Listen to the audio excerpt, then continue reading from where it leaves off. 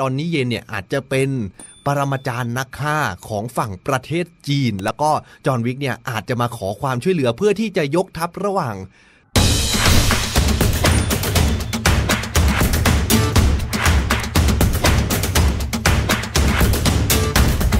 หนังตะลุงฮอตนิวส์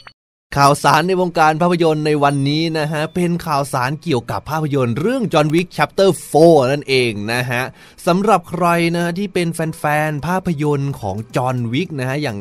อย่างจอห์นวิกเนี่ยจอห์นวิกเนี่ยนับเป็นแฟนชายเรียกว่าเป็นเป็นแฟนชายภาพยนตร์ได้แล้วไหมจอห์นวิกครับเป็นเป็นภาพยนตร์ที่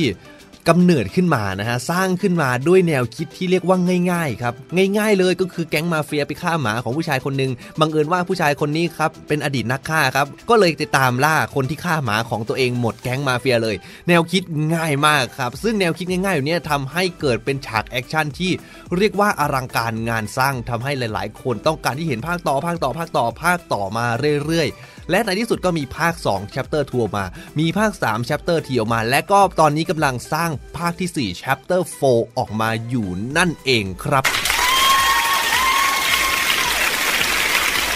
สำหรับแฟนๆ ของจอห์นวิกหรือแฟนๆ ของคีอานูลีฟนะฮะผู้ชายคนนี้เนี่ยในช่วงปี 2 ปีที่แล้วเนี่ยนับว่าเป็นปีทองที่ทำให้คีอานูลีฟเนี่ยครับกลับมามีบทบาทมีชื่อในโลกภาพยนตร์อีกครั้งหนึ่งเลยก็ว่าได้ ก่อนหน้านี้ก็เคยฝากผลงานไว้ที่เป็นที่ขึ้นชื่อลือชาให้หลายๆ คนได้รู้จักเลยก็คือ The Matrix นั่นเองฮะหรือก่อนหน้านั้นนะฮะ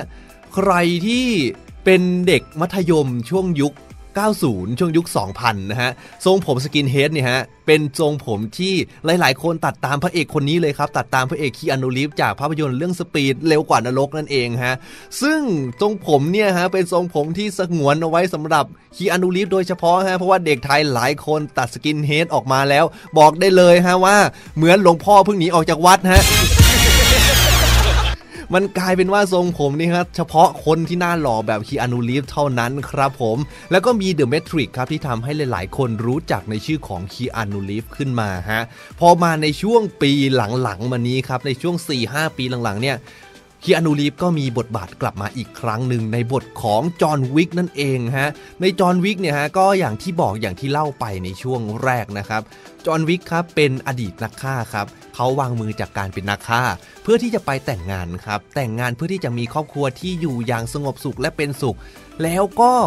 ด้วยเหตุผลกลใดด้วยบาปกรรมอะไรที่ทำมาไม่รู้ครับ หลังจากที่วางมือไปแล้วฮะภรรยาของเขาป่วยตายเสียชีวิตไปแล้วเนี่ยภรรยาของเขาเหลือสมบัติให้เขา 1 ชิ้นนะฮะคือส่งลูกหมามาให้ 1 ตัวฮะจอห์นวิกมีรถอยู่หนึ่งคัน ซึ่งเป็นรถที่รักมากๆครับจากนั้นครับจอห์นวิกก็ใช้ชีวิตอย่างเหมือนคนที่ไร้จุดหมายฮะไปเจอกับแก๊งมาเฟียแก๊งหนึ่งลูกชายแก๊งมาเฟียแก๊งหนึ่งซึ่งไม่รู้อิโนอิเน่เลยฮะ อยากได้รถจอห์นวิกครับ ก็เลยมาบุกปล้นบ้านจอห์นวิกฮะจากนั้นก็ฆ่าหมาจอห์นวิกครับขโมยรถจอห์นวิกไปจอห์นวิกจึงทำการแก้แค้นครับ แก้แค้นโดยการล้างแก๊งมาเฟียแก๊งเนี่ยหมดยกแก๊งเลยนะฮะจากนั้นก็เป็นเรื่องราวต่อมาครับมีการขยายจักรวาลของนักฆ่าในจอห์นวิกเนี่ยออกไปกว้างใหญ่ไพศาลมากเลย ได้รู้จักองค์กร The Continental ที่เป็นโรงแรมสำหรับ ให้นักฆ่าเข้าพักนั่นเอง มีการ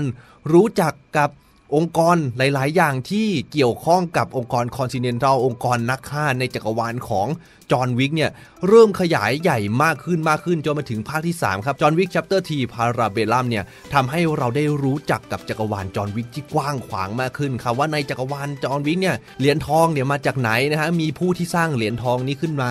นะเหรียญทองเนี่ย หมายถึงอะไรมีการขยายไปถึงจักรวาลของ Hassassin นะฮะที่เป็นตำนานที่มีอยู่จริงบนโลกในใบนี้เลยนะ อย่างผู้เฒ่าภูผาอย่าง Hassassin ที่ชื่อว่าฮัสซันไอชาบานะฮะถ้าถ้าสนใจตรงนี้จริง ๆ นะฮะ ลองส่งข้อความมาก็ได้เดี๋ยวผมจะลองเอามาเล่าให้ฟังว่าตำนานของ Assassin บนโลกนี้จริงๆเดี๋ยวองค์กรนักฆ่าองค์กรเนี้ยมีเรื่องราวเป็นยังไงบ้างนะฮะ จากนั้นครับในภาค3นะฮะ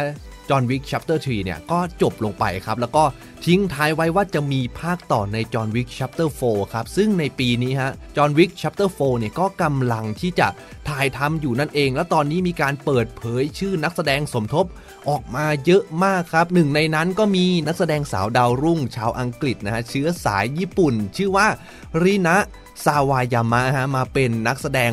ในภาพยนตร์เรื่องนี้ด้วยนะฮะ และก็ที่ออกมาล่าสุดว่าจะมาร่วมสมทบกับคีอานูรีฟในภาคนี้เลยก็คือคนนี้เลยครับ ดอนนี่เยนนะฮะ ดอนนี่เยนหรือ เจินจื่อตันนะฮะใครนึกภาพไม่ออกนะฮะนึกภาพดอนนี่เยนคือใคร ดอนนี่เยนเนี่ยคือยิบมันครับอาจารย์ยิบมัน อาจารย์ยิบมันปรมาจารย์กังฟูสู้ยิบตาเนี่ยชื่อไทยเห็นไหมในตัวของอาจารย์ยิบมันฮะที่ฝากผลงานไว้กับทางดิสนีย์ล่าสุดเลยก็คือเรื่องมู่หลานนั่นเองครับผม ได้มาร่วมสมทบแสดงกับคีอานูรีฟในจอห์นวิก Chapter 4นี้ด้วยนะฮะก็ต้องมารอรุ้นกัน มารอลุ้นกันฮะว่า ระหว่างจอห์นวิกกับ ดอนนี่เยนนะฮะสองคนเนี้ยจะมาเป็นเพื่อนหรือมาเป็นศัตรูกันแต่ถ้าให้ผมเดานะ ให้ผมเดาเนื้อเรื่องนะ ผมว่าในจอห์นวิก Chapter 4เนี่ยจะขยายจักรวาลนักฆ่าออกไป ทางทวีปเอเชีย เพราะว่านักแสดงที่ออกมาตอนนี้มีมีมา 2 คนแล้วที่เป็นเชื้อสายเอเชียนะฮะไม่ว่าจะเป็นดอนนี่เยนหรือว่ารินะซาวายามะนะฮะทั้งสองคนเป็นเชื้อสายเอเชียทั้งหมดเลยนะฮะน่าจะข้ามมาทางเอเชียนะครับดอนนี่เยนเนี่ยอาจจะเป็น ปรมาจารย์นักฆ่าของฝั่งประเทศจีน แล้วก็จอห์นวิกเนี่ยอาจจะมาขอความช่วยเหลือเพื่อที่จะยกทัพระหว่าง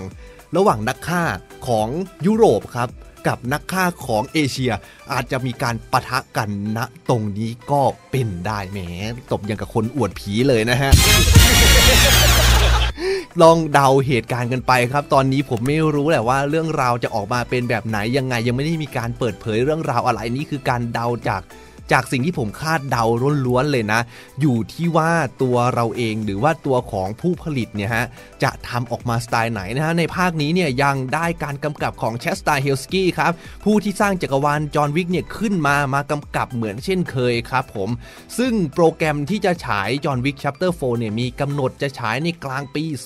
2022 นี้ฮะคือ ปีหน้ากลางปีหน้าเนี่ยเราน่าจะได้ดูกันแน่นอนสำหรับจอห์นวิกชัปเตอร์4อย่าลืมกดไลค์ กดแชร์ กด Subscribe และก็กดกระดิ่งแจ้งเตือนด้วย เพื่อไม่ให้พลาดข่าวสารวงการภาพยนตร์แบบนี้ได้ทุกวันที่ช่อง Alexander Channel